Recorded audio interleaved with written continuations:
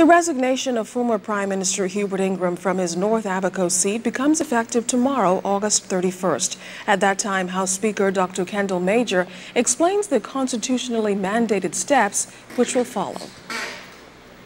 The duty of the Speaker is to, is to uh, write uh, the Governor General, His Excellency, indicating that there's a vacancy, uh, attach a copy of the letter therein, and from that point, the, the process, according to our Constitution, will then take effect.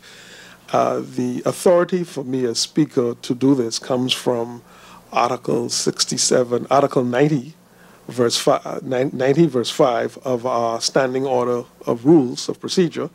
And, and again, we are complying with Article 67, 3 of the Constitution. And so the Governor General will then write a formal writ to the parliamentary uh, registry uh, office indicating that there's a vacancy in the House of Assembly uh, for the seat of North Abaco. Now, you would remember that back on July 25th, Dr. Major informed the House that he had received Mr. Ingraham's letter of resignation, but that he regarded it a promissory note.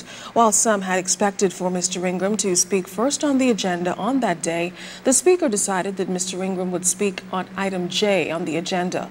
Upon that ruling, Mr. Ingraham abruptly left the House of Assembly without making his planned final address. And with various circles, Within various circles, some have opined that Mr. Major's move may have been politically motivated. Now, the Speaker has denied those claims, stating that he's a slave to the rules of the House of Assembly. He added that he was a bit surprised, though, at the timing of the resignation.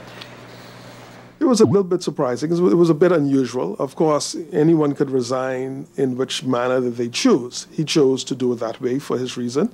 We respect that and we honor that. But at the time when the House was sitting, it was it would have been inappropriate for the procedure based on the, the, the rules of the House uh, for that to take the precedent that that that it that obviously it did not. And so it was a bit unusual, but he chose it. He chose to do it that way. We respect it, and the date is upon us now.